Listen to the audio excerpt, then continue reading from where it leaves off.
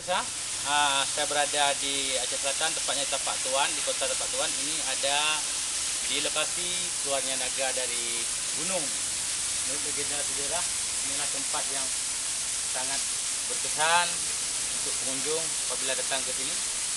Ah, ini kita wawancara Bapak ini sebentar. Tahun berapa ini Pak di keluar ini?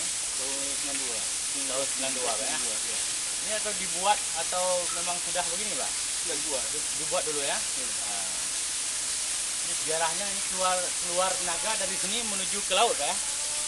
Kalau dari sini menuju ke laut ya iya. rencananya. Hmm, Ah, iya, iya. Ini air ini dari mana Pak turunnya? Dari dalam ini? Tidak. Dalam gunung ini? Dibikin, Dibikin juga? bikin. Oh. Di sini tarik. Tarik sama mesin. Cari makin turun lagi. Iya, turun. Ah, iya. Ramai pengunjung di sini tiap hari Pak ya? Orangnya, Pak. Dari mancanegara datang ya? Iya. Bapak udah lama kerja di sini? Udah.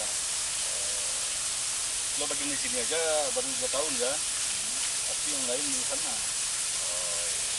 Ya, aslinya di sana, tapaknya ada tuh Hmm, di tempat tuan di kota Pak ya? di kota.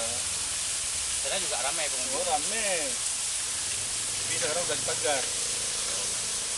Dulu bukan, dulu sama seorang hilang. Hilang. Hilang mati, meninggal. dalam gunung hilang Kan, di laut, di tapak Hilang. tuh. itulah pemirsa wawancara saya sebentar dengan bapak yang tugas di sini Ah, cukup di sini saya rasa laporan dari ceknas.com langsung dari tempat tuan Aceh Selatan untuk pemirsa